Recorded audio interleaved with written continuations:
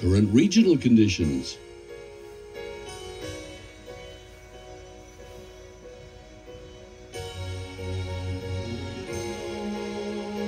Special regional information.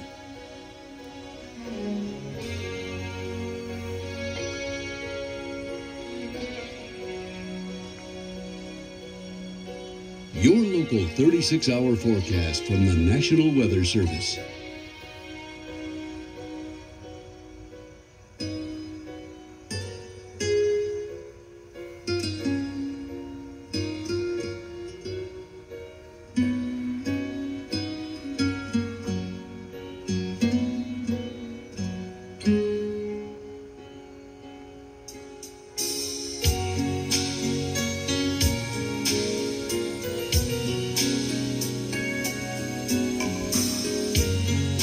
Your region's long range outlook.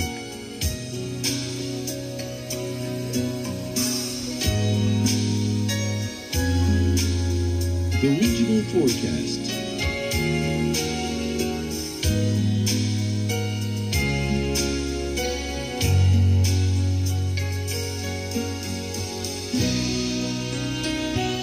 The extended forecast.